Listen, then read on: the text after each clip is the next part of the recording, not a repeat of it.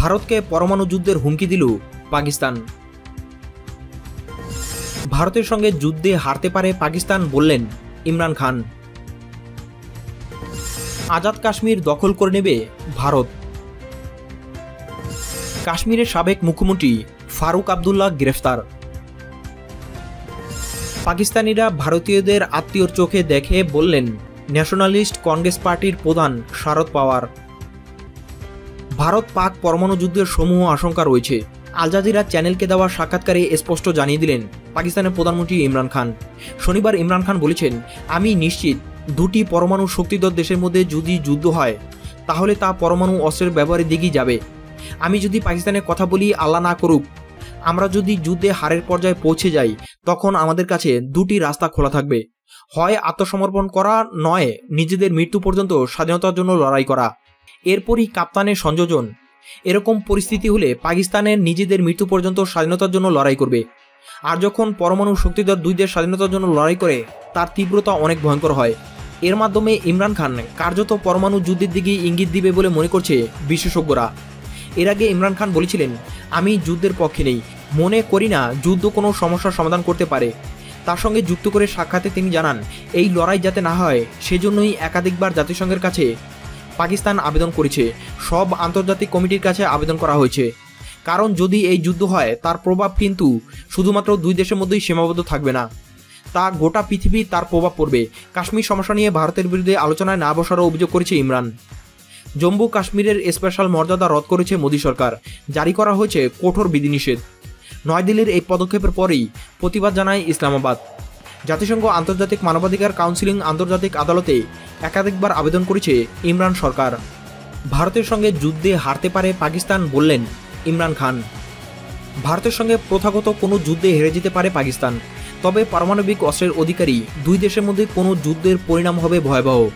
পাকিস্তানের প্রধানমন্ত্রী ইমরান খান রোববার এই মন্তব্য করেছেন। আল জাদিরাকে দেওয়া এক বিশেষ সাক্ষাৎকারে ইমরান খান বলেছেন, আমি নিশ্চিত, যখন পারমাণবিক শক্তিধর দুটি দেশের মধ্যে যুদ্ধ শুরু হয়, তখন সেটা অবশ্যই পারমাণবিক যুদ্ধের দিকে গড়াবে। ঈশ্বর না করুক, যদি এমন কোনো যুদ্ধ হয় আর আমরা হেরে যাই, তাহলে আমরা শেষ পর্যন্ত লড়াই করব। ইমরান খান বলেছেন, যদি পাকিস্তানের সামনে আত্মসমর্পণ করতে হবে বা স্বাধীনতার জন্য আমৃত্যু লড়াই করতে হবে, এমন পরিস্থিতি তৈরি হয়, তাহলে পাকিস্তান দ্বিতীয়টি বেছে নেবে। নিজের স্বাধীনতার জন্য আমৃত্যু লড়াই করত পাকিস্তান। আর যখন কোনো পারমাণবিক শক্তিধর দেশ মৃত্যুর আগ পর্যন্ত লড়াইয়ের পণ করে, তখন সেটার পরিণতি হয় ভয়াবহ। নতুন পাকিস্তানের ডাক দেওয়া প্রধানমন্ত্রী ইমরান খান জানিয়েছেন, যুদ্ধ এড়ানোর জন্য তাই পাকিস্তান জাতিসংঘের দিকে অগ্রসর হচ্ছে। বর্তমান কাশ্মীরে যে পরিস্থিতি সৃষ্টি হয়েছে, সেটা সুরাহার জন্য পাকিস্তান আন্তর্জাতিক মহলের দিকে দৃষ্টি দিচ্ছে। পাকিস্তানের প্রধানমন্ত্রী ইমরান খান বলেন, সব দিক বিবেচনা করে আমরা জাতিসংঘের কাছে যাচ্ছি। আমরা সব আন্তর্জাতিক সংগঠনের কাছে যাচ্ছি। কারণ এখন একটি দুর্যোগ আমাদের দিকে এগিয়ে আসছে, যেটার প্রভাব ভারতীয় উপমহাদেশের গণ্ডিতেই সীমাবদ্ধ থাকবে না। ভারতের সঙ্গে এখন কোনো সংলাপে বসার সম্ভাবনা আছে কিনা? এমন প্রশ্নে ইমরান খান জানিয়েছেন, ভারতের সংবিধান থেকে তিনশো সত্তর ধারা লোপের পরে ভারতের সঙ্গে কোনো ধরনের সংলাপে বসার সম্ভাবনা স্তীমিত হয়ে পড়েছে। গত পাঁচ আগস্ট জম্মু কাশ্মীরের বিশেষ সাংবিধানিক মর্যাদা দেওয়ার ধারা তিনশো সত্তর বাতিল করে ভারত সরকার। এতে জম্মু কাশ্মীর দ্বিখণ্ডিত হয়ে পড়ে। জম্মু কাশ্মীরকে পৃথক কেন্দ্রশাসিত অঞ্চল করেছে ভারত। ভারত সরকারের এই সিদ্ধান্তে তীব্র প্রতিক্রিয়া দেখিয়ে আসছে পাকিস্তান। এ নিয়ে ইসলামাবাদ বিভিন্ন আন্তর্জাতিক ফোরামে অভিযোগ জানাচ্ছে। ভারতের সঙ্গে ইতিমধ্যে বেশ কয়েকটি ক্ষেত্রে পাকিস্তানের সম্পর্কের অবনতি ঘটেছে। আজাদ কাশ্মীর দখল করে নেবে ভারত। ভারত কি তবে পাকিস্তান নিয়ন্ত্রিত আজাদ কাশ্মীর দখল করে নেবে? ভারতের কিছু রাজনৈতিক নেতার বক্তব্যের পর এমন আশঙ্কা প্রকাশ পেয়েছে। এ বিষয়ে ভারতীয় নেতারা এখন আর রাগ ডাক রাখছেন না। তারা প্রকাশ্যে হুমকি দিচ্ছেন। বলছেন, পাকিস্তান দখলীকৃত কাশ্মীরও আমাদের। কেউ কেউ বলছেন, পাকিস্তান ভেঙে টুকরো টুকরো হয়ে যাবে। যুদ্ধ এড়াতে আজাদ কাশ্মীরকে ভারতের হাতে তুলে দিতে হবে। আজাদ কাশ্মীরকে হারানোর জন্য প্রস্তুত থাকতে হবে পাকিস্তানকে। এমন সব হুমকি এসেছে ভারতের প্রতিরক্ষামন্ত্রী রাজনাথ সিং, কেন্দ্রীয় সমাজকল্যাণ ও ক্ষমতায়ন বিষয়ক প্রতিমন্ত্রী রামদাস আথাওয়ালে গুজরাটের মুখ্যমন্ত্রী বিজয় রূপানী প্রমুখের তরফ থেকে। অন্যদিকে ভারতের সাবেক সেনাপ্রধান সড়ক পরিবহন ও মহাসড়ক বিষয়ক প্রতিমন্ত্রী ভিপি সিং জানিয়েছেন, পাকিস্তান নির্ধারিত কাশ্মীরের বিষয়ে ভারতের প্রধানমন্ত্রী নরেন্দ্র মোদী নেতৃত্বাধীন এনডিএ সরকার রয়েছে বিশেষ কৌশল। কি সেই বিশেষ কৌশল তা নিয়ে চলছে প্রশ্ন। সেটা কি তবে আজাদ কাশ্মীরকে ভারতের দখলে নেওয়া?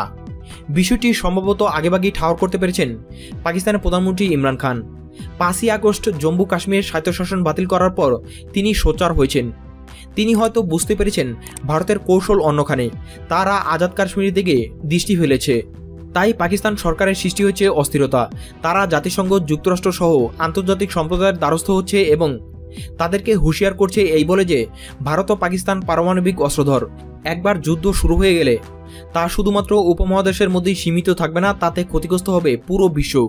রোববার আজাদ কাশ্মীরকে পাকিস্তানের কাছ থেকে কেড়ে নেওয়ার ইঙ্গিত দেন গুজরাটের মুখ্যমন্ত্রী বিজয় রূপানী। তিনি বলেন, আজাদ কাশ্মীরকে হারানোর জন্য প্রস্তুত থাকা উচিত পাকিস্তানের। তিনি উনিশশো একাত্তর সালে পাকিস্তানের কাছ থেকে বাংলাদেশ স্বাধীন হওয়ার কথা স্মরণ করিয়ে দেন পাকিস্তানের প্রধানমন্ত্রী ইমরান খানকে। তিনি যেন সন্ত্রাসের সমর্থন দেওয়া বন্ধ করেন। বিজয় রূপানী আরও বলেন, ভারতের সংবিধান থেকে তিনশো সত্তর দ্বারা বাতিল করা হয়েছে। এখন পাকিস্তান দখলীকৃত কাশ্মীরও আমাদের। পাকিস্তান দখলীকৃত কাশ্মীর হারানোর জন্য পাকিস্তানকে প্রস্তুত থাকা উচিত। একীভূত ভারতের স্বপ্নকে বাস্তবায়ন করতে আমরা পাকিস্তান দখলীকৃত কাশ্মীর দিকে অগ্রসর হতে প্রস্তুত। সন্ত্রাসের সমর্থন দেওয়া বন্ধ করতে হবে পাকিস্তানকে। এমন সমর্থন দেওয়া বন্ধ হলে ভারত তা সহ্য করবে না। ভারত একতা মঞ্চের এক র্যালিতে তিনি এসব কথা বলেন।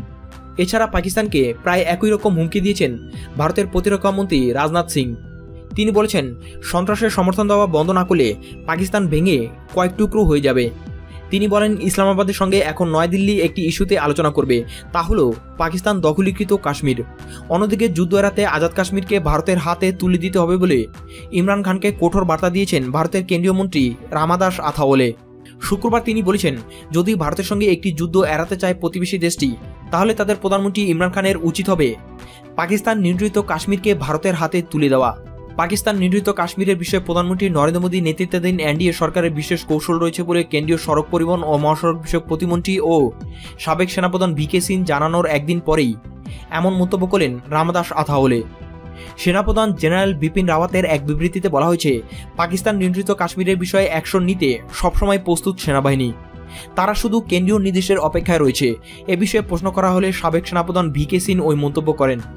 তিনি শুধু বলেন, একটি স্ট্র্যাটেজি বা কৌশল রয়েছে, কিন্তু কি সেই কৌশল তা জনসম্মুখে প্রকাশ করা যাবে না। কাশ্মীরের সাবেক মুখ্যমন্ত্রী ফারুক আবদুল্লাহ গ্রেফতার। জম্মু কাশ্মীরের সাবেক মুখ্যমন্ত্রী ফারুক আবদুল্লাহকে গ্রেফতার দেখিয়েছে ভারতীয় প্রশাসন। আগস্টের শুরুতে কাশ্মীরের বিশেষ মর্যাদা বাতিলের ঘোষণার পর থেকেই গৃহবন্দী শ্রীনগরের এই লোকসভার সদস্য। জানা যায়, কাশ্মীরি নেতা ফারুককে বেআইনিভাবে আটক করে রাখার বিরুদ্ধে একটি পিটিশন জারি করে সুপ্রিম কোর্ট। পরদিনই জননিরাপত্তা আইনে তাকে গ্রেফতার দেখানো হয়।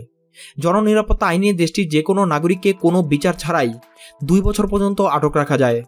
ফারুক আবদুল্লার বিরুদ্ধে সরকারি নির্দেশ অমান্য করার অভিযোগ আনা হয়েছে। এই অভিযোগে সর্বনিম্ন তিন মাস আটক অবস্থায় থাকবেন এই প্রবীণ নেতা। এক শীর্ষ পুলিশ কর্মকর্তা বলছে, একটি কমিটি ঠিক করবে ফারুক আবদুল্লাকে কতদিন আটক রাখা হবে। এই প্রথম পিএস আইনে কোনো শীর্ষ রাজনৈতিক নেতাকে গ্রেফতার করা হলো ভারতে। বর্তমানে লোকসভার সদস্য ফারুক আবদুল্লাহ তিনবারে মুখ্যমন্ত্রী ছিলেন জম্মু কাশ্মীরে। সন্ত্রাসী, বিচ্ছিন্নতাবাদীদের বিরুদ্ধে এতদিন ধরে এই আইন প্রয়োগ করত প্রশাসন। এই আইনের অধীনে গত দুই দশকে বিশ হাজারও বেশি কাশ্মীরিকে গ্রেফতার করা হয়। পাঁচ আগস্ট সংবিধানের তিনশো সত্তর ধারা তুলে নিয়ে জম্মু কাশ্মীরে বিশেষ মর্যাদা কেড়ে নেয় ভারত সরকার। তার আগের দিন থেকে কঠোর সামরিক পরিস্থিতি জারি করা হয় সেখানে। সে সময় সাবেক গৃহবন্দী করা হয় অন্য দুই সাবেক মুখ্যমন্ত্রী মেহবুবা মুফতি এবং ফারুকের ছেলে ওমর আবদুল্লাকে সরকারি হিসেবে নিরাপত্তা আইনে জম্মু কাশ্মীর থেকে গ্রেফতার করা হয়েছে অন্তত চার হাজার মানুষ, যার মধ্যে রয়েছে সাবেক তিন মুখ্যমন্ত্রী সহ দুইশো রাজনৈতিক নেতাকর্মী। যার মধ্যে ছাব্বিশশো জনকে পরবর্তীতে মুক্তি দেওয়া হয়েছে। পাকিস্তানিরা ভারতীয়দের আত্মীয়র চোখে দেখে বললেন, ন্যাশনালিস্ট কংগ্রেস পার্টির প্রধান শারদ পাওয়ার। কাশ্মীর ইস্যুতে প্রতিবেশী দুই দেশ ভারত পাকিস্তানের সম্পর্কের অবনতি হয়েছে অনেকটা। দুই দেশের মধ্যে চলছে রাজনৈতিক উত্তেজনাও। এমন পরিস্থিতিতে ভারতের ন্যাশনালিস্ট কংগ্রেস পার্টির প্রধান শারদ পাওয়ার কথা বলছেন ভিন্ন সুরে। তার দাবি, পাকিস্তানি জনগণ ভারতীয়দের আত্মীয়র চোখে দেখে। তবে রাজনৈতিক স্বার্থ হাসিলের জন্য পাকিস্তান সম্পর্কে ভারতে প্রোপাগান্ডা চালানো হয়। ভারতীয় সংবাদ মাধ্যম এনডিটিভির প্রতিবেদনে বলা হয়েছে, শনিবার এই মন্তব্য করেছেন শারদ পাওয়ার। তিনি বলেছেন, ভারতের মানুষ বলে পাকিস্তানিরা অসুখী অবস্থায় রয়েছে। তারা নাকি সেখানে অবিচারের শিকার হচ্ছেন। কিন্তু এসব সত্যি নয়।